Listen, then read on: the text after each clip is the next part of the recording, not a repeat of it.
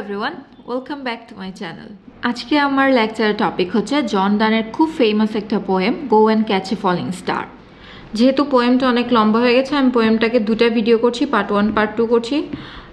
প্রথম পার্টে আমি শুধু ফার্স্ট স্ট্যান্ডারটাই ডিসকাস করছি, আর সেকেন্ড পার্টে আমি রেস্ট অফ দ্য দুটো স্ট্যান্ডার আমি ডিসকাস করব। জর্ডান মারা যায় সিক্সটিন থার্টি ওয়ানে এবং মারা যাওয়ার দু বছর পরে সিক্সটিন থার্টি থ্রিতে তার অনেকগুলা পোয়েম পাবলিশ করা হয়েছিল সংস অ্যান্ড সনের টাইটেল দিয়ে। এবং ওইখানের অনেকগুলো পোয়েমের মধ্যে এটা একটা। তো যেসব পোয়েমে পোয়েট কোনো টাইটেল দিয়ে রাখে না, তো সেই সব পোয়েমে সাধারণত ফার্স্ট লাইনটাই টাইটেল হিসেবে কাউন্ট করা হয়। এই জন্যই go catch a falling star এখানে আমার পোয়েমের ফার্স্ট লাইনটাই টাইটেল হিসেবে দেখাচ্ছে। জর্ডান হচ্ছে ওনার সময়ে খুব প্রমিনেন্ট একজন পোয়েট জর্ডানকে বলা হয় ম্যাটাফিজিক্যাল লাভের poet metaphysical love metaphysical poetry এসবের জন্য জর্ডানের আসলে বেশি খ্যাতি। এই পয়েন্টটা শুরু করার আগে আমি একটু বলতে চাই, এই পোয়েমটা অ্যাকচুয়ালি এটার সাবজেক্টটা অনেক বা থিমটা অনেক ডিফারেন্ট যেগুলো আমরা সাধারণত পোয়েম পড়ি তা থেকে। এই পোয়েমটার থিমটা যেহেতু একটু কন্ট্রোভার্সিয়াল এই জন্য আমি এটা শুরু করার আগে একটু বলতে চাই। জর্ডান তার রিডারদেরকে চ্যালেঞ্জ করেছে সুন্দর এবং সৎ। এই দুটা গুণ একসাথে কোনো নারীর মধ্যে পাওয়া সম্ভব না। সো এটার সাথে অনেক অনেকেরই দ্বিমত থাকতে পারে, অনেকে আবার টপিকটা এনজয় করতে পারে হার্ট হতে পারে এজন্য আমি আগে একটু বলে রাখতে চাই হতে পারে, জন ডান যেই সময় এই কবিতাটা লিখেছে, ওই সময় তার স্টেট অফ মাইন্ড হয়তো ওটা ছিল। হতে পারে যে সে রিসেন্টলি বিট্রেয়াল ফেস করেছে বা কোনো কোনো মেয়ে তার মন ভেঙেছে বা তার বিশ্বাস ভেঙেছে এই জন্য হতে পারে সেটা বলেছে। সো এখানে আমি বলব মানে হার্ট হওয়ার কিছু নাই। নর্মালি আমি যখন ক্লাসে এই পোয়েমটা পড়াই, দেখা যায় যে ফিমেল স্টুডেন্টরা একটু অফেন্ডেড হয়। সো আই উইল সে যে অফেন্ডেড হওয়ার কিছু নাই। আই উড রাদার সে যে সে যে এত ফানি একটা ওয়েতে এত স্মার্ট একটা ওয়েতে তার রিভেঞ্জটা নিয়েছে। সে তাকে যে হার্ট করেছে তার উপর সে একটা রিভেঞ্জ নিয়েছে। তো এটাকে আমরা আসলে উল্টো অ্যাপ্রিসিয়েট করতে পারি, এটা আমি বলব। আর সে বলেছে ডাজেন্ট মিন এটা ট্রু হয়ে গেছে। এটা হয়তো তার স্টেট অফ মাইন্ড ওই সময় ওটা ছিল। যেমন আমরা স্বাভাবিক আমাদের লাইফেও দেখি এটা, যখন কারও রিলেশনশিপে দেখা যায় যে, একটা সময় পরে যদি ব্রেকআপ হয়, দেখা যায় যে ওই সময় সে অনেক নেগেটিভ কথাবার্তা বলছে হয়তো বলছে যে, আমি আর কোনোদিন কোনো রিলেশনশিপে যাব না বা সব ছেলেরাই খারাপ বা সব মেয়েরাই খারাপ ডাজেন্ট মিন সে ওটা একদম সিরিয়াসলি বলেছে বা অ্যাকচুয়ালি সে ওটা তার লাইফে করেছে। হতে পারে যে ওই সময় তার মন খারাপ ছিল বা ওই সময় তার মাথায় ওঠাই এসেছে দেখে বলেছে পরে এটা চেঞ্জ হয়ে যায় স্বাভাবিক। তো এই পোয়েমটা যখন লিখেছে এই যে জর্ডান চ্যালেঞ্জ করছে তার রিডারদের লিসনারদের কখনোই কোনোভাবেই একটা নারী সৎ এবং সুন্দর হতে পারবে না। হতে পারে ওই সময় তার কাছে এটা ফিল হয়েছে কারণ আমরা দেখেছি জর্ডান আহ, পরে এনির প্রেমে পড়ে এবং সে তাকে বিয়ে করে। সো সে তার বিবাহিত লাইফে ভালোই ছিল। তার মানেই হতে পারে যে এরপরে সে তার এই তার এই হয়তো চিন্তাটা চেঞ্জ হয়ে গেছে। সো আর আমরা জর্ডানের এই পোয়েমের পাশাপাশি অনেক পোয়েম পড়েছি যেগুলাতে সে তার বিলাবেটকে কত বেশি লাভ করে, এগুলো সে বুঝিয়েছে এবং তার কাছে একটা নতুন ওয়ার্ল্ড পাওয়ার মতো তার বিলাবেটকে খুঁজে পাওয়া এগুলো পড়েছি। তার মানে তার এই ধারণা নিশ্চয়ই চেঞ্জ হয়ে গেছে, হয়তো ওই সময় সে হার্ট ব্রোকেন ছিল দেখে এটা লিখেছে, এটা হতে পারে। কারণ আমরা তার ব্যাকগ্রাউন্ড আমরা তার হিস্ট্রিতে আমরা তার ব্যাকগ্রাউন্ডে পড়েছি। আহ, জর্ডান যে উত্তরাধিকার সূত্রে যত সম্পত্তি পেয়েছিল সেগুলো তিনটা কাজে ব্যয় করেছিল। একটা হচ্ছে বইয়ের পিছনে আরেকটা হচ্ছে ট্রাভেলের পিছনে আরেকটা হচ্ছে যে নারীদের পিছনে। তো এত নারীদের পিছনে সে যখন সময় ব্যয় করেছে টাকা খরচ করেছে নিশ্চয়ই কোনো না কোনো একটা ফিমেল থেকে হতে পারে যে সে ভিট্রিয়ালটা ফেস করেছে। এজন্য ওই সময় হতে পারে যে রাগের কারণে বা মন খারাপের কারণে তার এমন একটা পোয়েট্রি লেখা হয়ে গেছে বা এমন একটা স্টেটমেন্ট সে দিয়ে দিয়েছে। এবং গুড মরো, এই ধরনের পোয়েমও আমরা পড়েছি, যেটা কিনা তার আরেকটা মোস্ট ফেমাস পোয়েমের মধ্যে একটা, গুড মরো। সো গুড মরোতে আমরা দেখেছি সে লাভ নিয়ে কীভাবে বলেছে। তার মানে এটা যে চেঞ্জ হয়েছে সেটা আমরা জেনে গেছি। So I'll say don't get offended take it lightly so আমরা শুরু করি। এই পোয়েমে আমরা দেখছি তিনটে স্ট্যান্ডা আছে।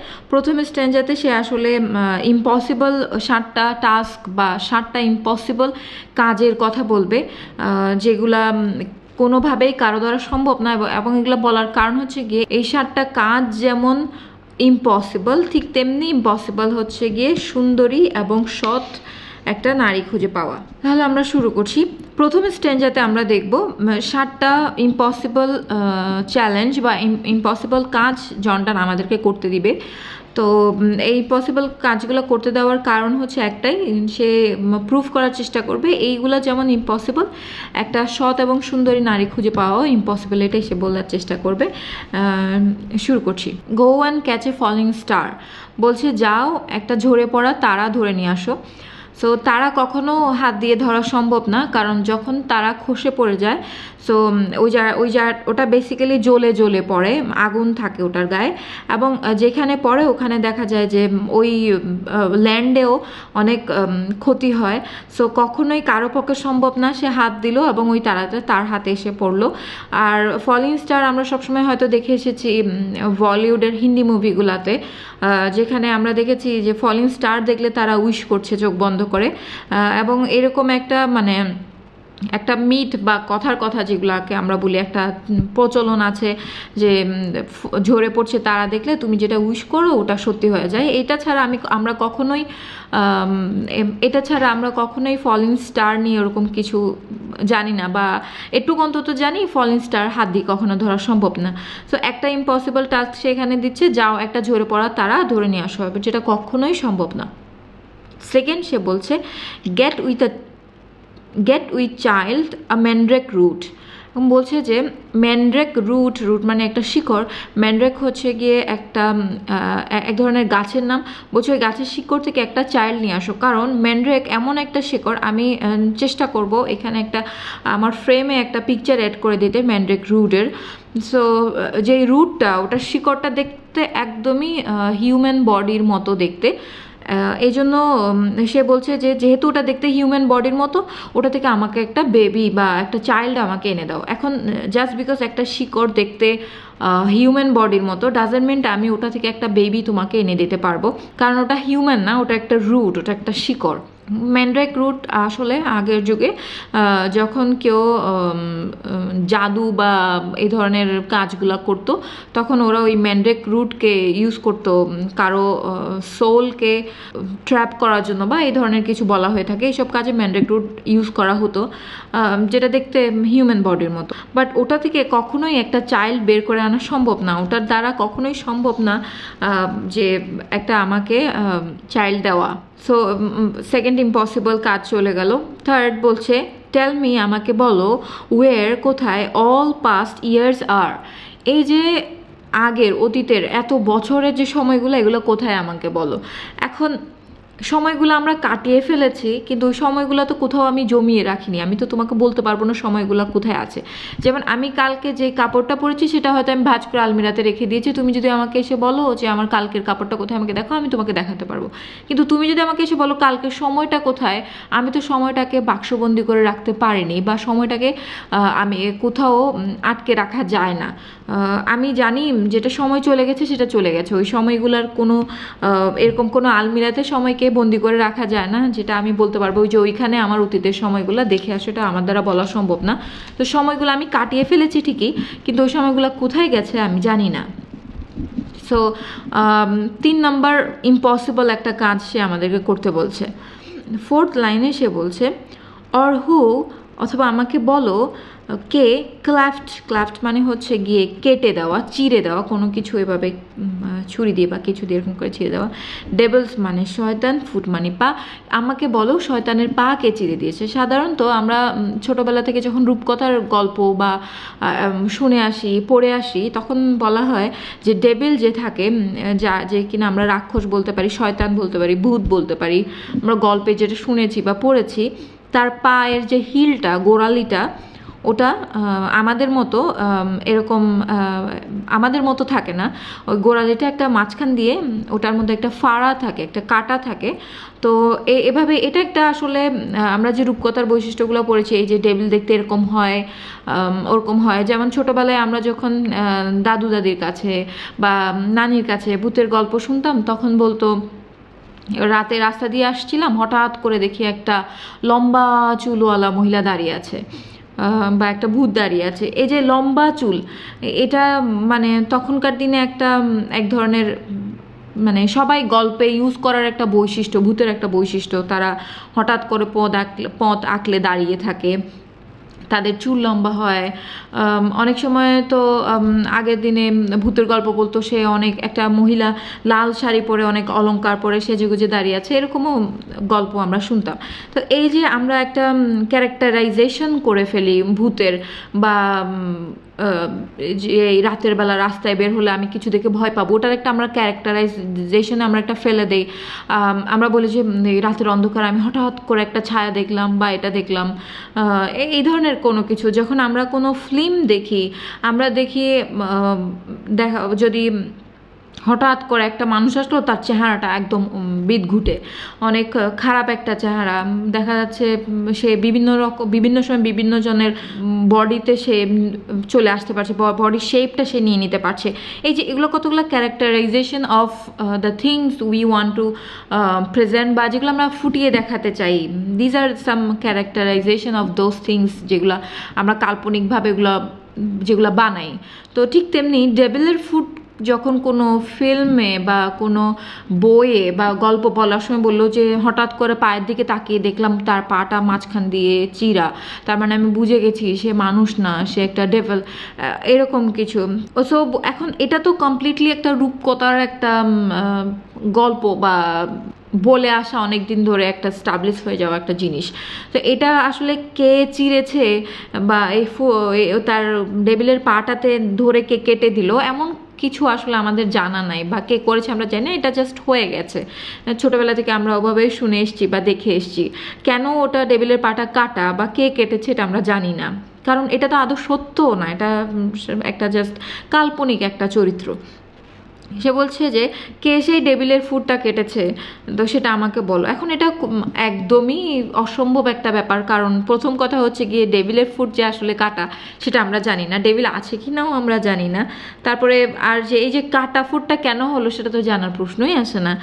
তো এটা একদমই আর একটা ইম্পসিবল কাজ। পাঁচ নম্বর লাইনে সে গিয়ে বলছে টিচ মি আমাকে শিখিয়ে দাও টু হিয়ার শুনতে মারমেড সিঙ্গিং এই যে মৎস্যকন্যারা যে গান গায়, ওটার ওদের গানগুলা কেমনে শুনতে হয় আমাকে একটু শিখিয়ে দাও। এখন এটা সেম ডেভিলের ফুটের মতো আরেকটা ইম্পসিবল জিনিস, কারণ মারমেট অ্যাকচুয়ালি এক্সিস্ট করে না। মারপেট আমাদের আরেকটা কাল্পনিক একটা চরিত্র। আমরা ছোটোবেলায় মুভিতে দেখেছি বা বইয়ে পড়েছি, মুখে মুখে গল্প শুনেছি, সমুদ্রে নাকি মৎস্যকন্যা থাকে।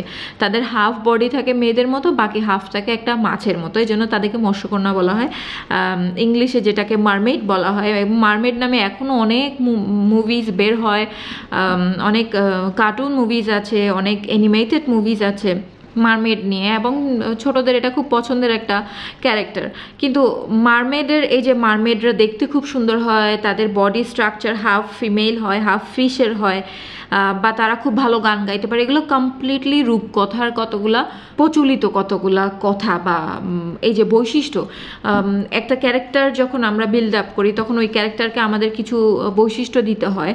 তো এরকমই কিছু বৈশিষ্ট্য। যেমন আমরা যে ডেবিলের ফুটকে কাটা হিসেবে দেখিয়েছি তার ফুটের দিকে তাকালে আমরা বুঝতে পারি সে রিয়েল না, সে ডেভিল বা ভূতের ফেস অনেক ভয়ঙ্কর হয়। এর এরকম বৈশিষ্ট্য আমরা দিয়ে থাকি, ওই কাল্পনিক চরিত্রগুলো। ঠিক তেমনি ওই মারমেডের কাল্পনিক চরিত্রের মধ্যে একটা বৈশিষ্ট্য হচ্ছে মারমেড যেই মৎস্যকন্যাগুলো, তারা খুব ভালো গান গাইতে পারে। গল্পের সাথে এটাও প্রচলিত আছে, মারমেডের গান যে একবার শুনেছে, সে কখনো ফিরে আসতে পারে না। সমুদ্রে যেই জেলেরা মাছ ধরতে যায়, তারা যদি মারমেডের গান শুনে ফিরতি পথে আসার সময় হয় তারা জাহাজ ডুবি হয়ে মারা যায়। না হয় তারা ওই যে পানির তলদেশে গিয়ে না হয় সমুদ্রের তলদেশে গিয়ে যখন তারা মারমেডের গান শুনে, গান শোনার পর তারা পাগল হয়ে যায়, অথবা মারমেডরা তাদেরকে ধরে মেরে ফেলে, তাদের গান একবার যারা শুনে। তো মারমেডের গান শুনে ফিরে আসা কারোর পক্ষে সম্ভব না। যদি কাল্পনিকভাবে আমরা ধরে নিই জন্ডান শুনতে চাচ্ছে মারমেডের গান, তাহলেও সম্ভব না। কারণ গল্পেই বলা হয়েছে মারমেডের গান যারা শুনবে, তারা কখনো ফিরে আসতে পারবে না। এটা বাস্তবে তো এক্সিস্ট করেই না, গল্পেও সেটা সম্ভব না। তাহলে সে বলছে, আমাকে শিখে শিখিয়ে দাও কীভাবে মৎস্যকন্যার গান শুনতে হবে। তো সেটা আমাদের পক্ষে কখনোই সম্ভব না। তাহলে আমরা আরেকটা একদমই অসম্ভব একটা টাস্ক পেয়ে গেলাম। ছয় নম্বর অসম্ভব কাজ সে আমাদেরকে দিচ্ছে, বলছে or to keep off keep off মানে হচ্ছে গিয়ে কোনো কিছুকে বন্ধ করে রাখা স্টপ করে রাখা এনভিস এনভি মানে হচ্ছে হিংসা স্টিং মানে হচ্ছে কি জ্বালা স্টিঙ্গিং মানে যে জ্বলছে এটা, যে হিংসার যে জ্বলন, এটা কেমনে বন্ধ করে রাখতে হবে সেটা আমাকে শিখিয়ে দাও। এখন আমি যদি কাউকে হিংসা করি, কারও ভালো কিছু দেখলে যদি আমার খারাপ লাগে, আমার হিংসা হয়, ওই হিংসার জ্বালা বন্ধ করা সম্ভব না। এটা কোনো রোগ না যেটা আপনি ট্যাবলেট দিয়ে সারাই নিতে পারবেন। দিস ইজ সামথিং যেটা আমাদের মধ্যে আছে। সো এখানে দুইটা জিনিস হওয়া সম্ভব। একটা হচ্ছে গিয়ে, হয় আপনি ওই মানুষটাকে হিংসা করবেন না, তাহলে আপনার স্টিং হবে না, জ্বলন হবে না। আর যদি আপনি হিংসা করেন, তাহলে জ্বলন হবে। আমি হিংসা করব, কিন্তু আমার জ্বলন হবে না, এটা কখনোই সম্ভব না। কারণ হিংসা আর জ্বলন একই জিনিস। এই যে আমি আমার কোনো ফ্রেন্ডকে দেখলাম, খুব ভালো পজিশনে সে চলে গেছে আমার থেকে, আর আমার দেখে খুব বিরক্ত লাগছে, আমি খুব হিংসা করছি তাকে। আমার একদম গা জ্বলে পুড়ে ছাই হয়ে যাচ্ছে, এটাই তো হিংসা। এই যে জ্বলনটাই তো হিংসা। আমি জ্বলবো, আমি হিংসা করব, কিন্তু জ্বলবো না, এটা হওয়া সম্ভবই না। তো এখন যে বলছে যে, হিংসার জ্বলন আমাকে বন্ধ করতে দাও। হিংসার জ্বলন বন্ধ করা সম্ভব না। হিংসা বন্ধ করা সম্ভব। আপনি ভালো মনের অধিকারী হলে কাউকে ভালো কিছু করতে দেখলে যদি আপনি বলেন যে, বাহ, সে তো খুব ভালো করছে, আমি তার ভালো আশা করি। তাহলে আপনার কোনো হিংসা হচ্ছে না মানে আপনার জ্বলনও হবে না। কিন্তু আপনি বলেন, যদি বলেন যদি আপনার তাকে দেখে এইভাবে পারছে, ওয়া পারছে অনেক সময় আমরা শুনে থাকি, যখন কেউ ভালো একটা জব পায়, আরেকজন খুব হিংসা করে বলছে, জানি তো কেমনে পেয়েছে, তার তো ওইদিকে পরিচিত আছে, তাই পেয়েছে। নিজের কোয়ালিটি দিয়ে পায়নি। এই ধরনের একটা বাজে মন্তব্য করতে আমরা দেখি। কারণ হচ্ছে তার হিংসা লাগছে, সে মেনে নিতে পারছে না। তার আরেক বন্ধু একটা ভালো জায়গায় গেছে। তো ওটা হওয়া মানেই আপনার জ্বলন হচ্ছে। আর এই হিংসা হবে, জ্বলন হবে না, এটা কখনোই সম্ভব না। এখন এটা তো মোটামুটি এই বাকিগুলোর থেকে মনে হয় সব থেকে অসম্ভব একটা জিনিস যে আমাকে হিংসার জ্বলন বন্ধ করতে দাও। তো এই ধরনের কোনো ওষুধ এখনও পর্যন্ত দুনিয়াতে আবিষ্কার হয়নি এবং হওয়া হয়তো কখনো সম্ভব না যে আমি একজনকে হিংসা করব, কিন্তু আমার একদমই খারাপ লাগবে না। ওই হিংসাটাই তো খারাপ লাগা। খারাপ লাগছে এটাকে তো আমরা হিংসা বলছি। তো বলছে যে, ওই হিংসার জ্বলন বন্ধ করতে আমি হিংসা বন্ধ করতে পারি। হিংসার জ্বলন বন্ধ করতে পারি না। হিংসার জ্বলন বন্ধ করতে আমাকে বলে দাও, শিখিয়ে দাও, তাহলে তো সম্ভব না। তাহলে আরেকটা অসম্ভব কাজ সে দেখিয়ে দিল। লাস্ট অসম্ভব কাজটা সে বলছে অ্যান্ড ফাইন্ড এবং খুঁজে বের করো হোয়াট ওয়াইন্ড এখানে এই ওয়াইন্ড মানে হচ্ছে গিয়ে পাওয়ারকে বোঝাচ্ছে। সার্ভ এমন একটা শক্তি যেটা কাজ করে টু অ্যাডভান্স সামনে এগিয়ে নিয়ে যেতে অ্যান অনেস্ট ম্যান একটা অনেস্ট একটা সৎ ব্যক্তিকে সামনে এগিয়ে নিয়ে যেতে বা উন্নতি করতে সাহায্য করে। এমন একটা পাওয়ার মানে এখানে হচ্ছে কি ওই পাওয়ারফুল লোকগুলা যারা চাইলে আপনাকে হেল্প করতে পারবে।